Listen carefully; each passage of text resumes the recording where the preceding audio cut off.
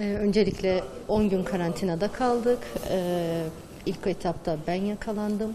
Ee, bütün hijyen kurallarına dikkat ettiğimizi düşünüyorduk. Maske kuralına dikkat ettiğimizi düşünüyorduk. Mesafeye dikkat ettiğimizi düşünüyorduk ama mutlaka birini es geçtik ki pozitif e, olayı gerçekleşti. İlk etapta ben oldum. Arkasından iki gün süre sonra eşim ve çocuğum oldu. Ee, yüksek ateş, aşırı derecede baş ağrısı, e, mide ağrısı e, ve çok fazla kas ağrısı gerçekleşti.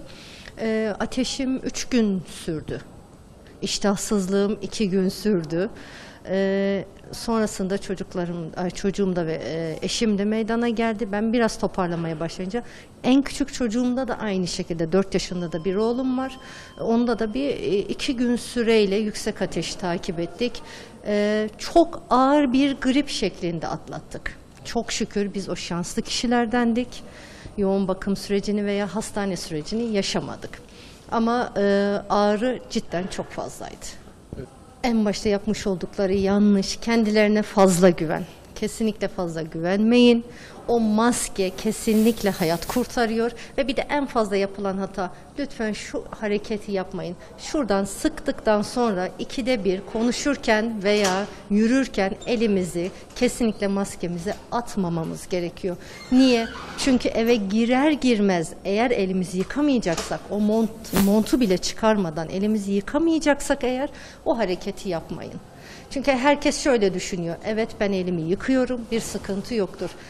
Diyorum ya biz bir yere atladık. Atladığımız yer şöyle düş öyle- atladığımız yer şu diye düşünüyorum ben. Eve giriyorum. Girerken asansöre dokundum. Kapının anahtarına dokundum. Şifresine dokundum. Ee, ve geldim montumu astım. Orada bir şeyler yaptım. En son elimi yıkamaya gidiyorum. Muhtemelen sonrasında da o dokunduğum yerlerden tekrar almışım ben. Bunun başka bir açıklaması yok. Kendinize fazla güvenmeyin. Hastalık her an her yerde karşımıza çıkabilir. Yine de maske, maske, maske diyorum ben. Ve Peki- hijyen. Peki siz bu hastalığı atlattınız. İlk yakalandığınız zaman neler düşündünüz? Çünkü karşınıza birçok vakalar çıktı. Ülkemizde e, ölüm oranları arttı ve bir sağlıkçısınız. İnsanın kendi kendine yetememesi de durumunu. Bunu nasıl anlatırsınız? o an sadece sağlıkçı olduğumuzu unutuyoruz. Kesinlikle herkes gibi düşünüyorum. Ya e, etrafımda o kadar çok yoğun bakımda e, ve ne yazık ki kaybettiğimiz arkadaşlarımız çok fazlaydı.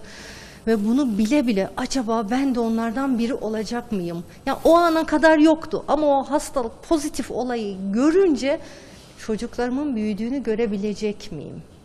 ya bir şey olursa yani ölüm korkusu ciddi anlamda her yanımızı sarıyor, sarmalıyor. Çok korkmuştum. bir tek ona. aklından çıkarmaması Çıkarmaması lazım. Kesinlikle çıkarmaması lazım. Eşim hemşire, e, o oldu. E, test verdim ben cuma günü eşim pozitif çıkınca.